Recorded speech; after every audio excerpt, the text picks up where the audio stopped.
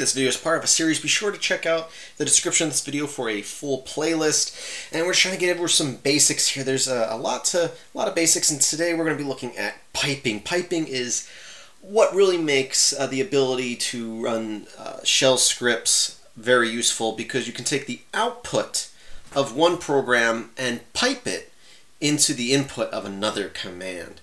Um, so I'll just give you an example. Here's a command we haven't gone over yet. The PS command. PS command, uh, and I'm going to use the AUX arguments for that, uh, will display every process I have running on my computer.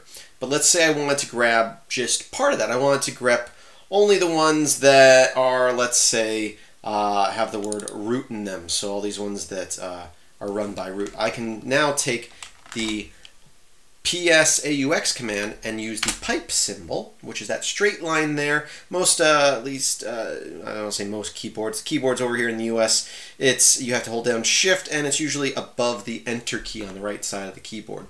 So I'm going to take the output of that, and now I'm going to put that into the grep command and tell it to return only lines that have the word root on them.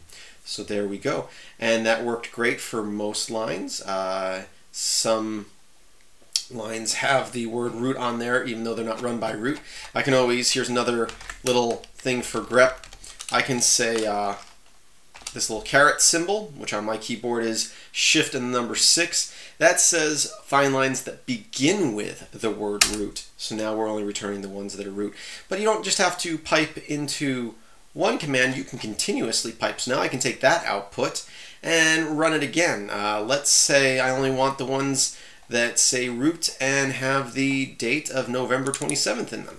I can, or yeah, that will do that. So now I can put it into grep again and say only November 27th, or any ones that aren't on November 27th, they reverse.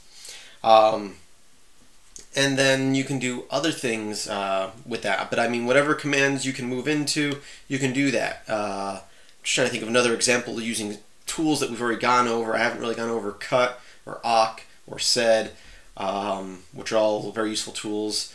Um, as I've shown in previous videos, I can do C here and it will return uh, the number of lines. But let's just say we didn't have that and we want to pipe. We can pipe that into uh, WC-L and you can see we can get the line number. So piping is very, very useful. So it takes whatever the standard output, I should specify because some programs will have their standard output and there's also error output and this is standard output. We'll put that into the next command. So grep here, instead of reading from a file, we're reading the output of this. This grep is reading the output of this grep command.